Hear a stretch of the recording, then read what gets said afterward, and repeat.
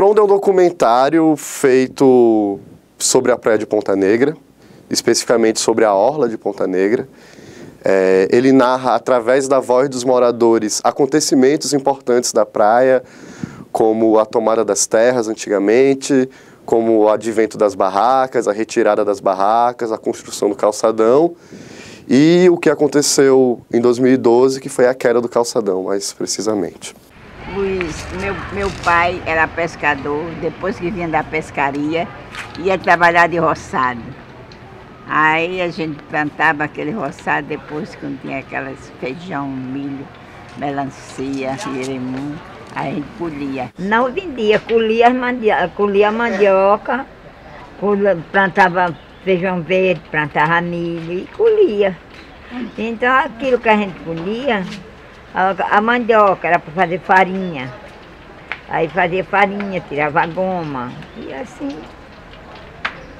era a vida. Estrondo, na verdade, ele faz referência ao Morro do Estrondo, que era o nome do Morro do Careca. Né? Antigamente o Morro do Careca se chamava Morro do Estrondo e os moradores falavam que ele estrondava. Então, quando dava chuva, ele fazia um estrondo, estrondava. Foi passando o tempo, foi chegando os veranistas da, da cidade para ficar lá em Ponta Negra, passar o veraneio, e passaram a chamar de Morro do Careca porque nele havia aquele caminho de areia que hoje já está bem grande, mas antes era bem estreito. A gente era cheio de roçada aí, o pessoal plantava, quando era tempo de arrancar a roça, arrancava para farinha. A barreira do inferno tomou tudo. Você vê hoje que o muro é aqui, ó, bem pertinho aí tomou tudo. Se não fosse a barreira do inferno, aqui tinha gente que era agricultor. O peixe não se acaba nunca. Quem se acaba somos nós. Bem de menino. Hoje em dia nunca assinei minha carteira em trabalho nenhum. Nunca. Tô ali é, só como pescador por lá. E os pescadores estão se acabando, porque não tem mais pescador. Eu tenho 54 anos de idade, eu não vejo mais nenhum pescador aqui onde eu moro mais novo do que eu. O pescador se sente muito desvalorizado e as rendeiras também se sentem o trabalho delas que não, não consegue expandir. Por outro lado, a gente tem o barraqueiro, que é o comerciante da praia, que hoje é dono de quiosque, né? Esses aí já reclamam de várias coisas, né? Você vai ter problemas ambientais decorrentes da sujeira da praia, da poluição do mar, da poluição sonora, da poluição visual, é, os, é, a queda do calçadão, né?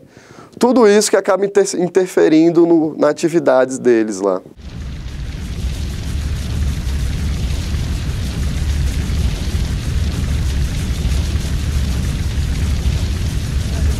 Acontecer, isso não foi de uma hora para outra, não foi um tsunami.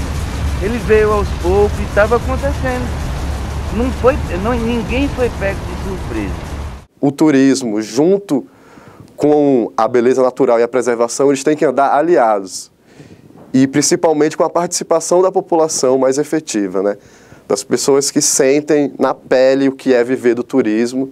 É, eu acho que a mensagem é justamente essa: um turismo que seja participativo e que seja mais inteligente, né?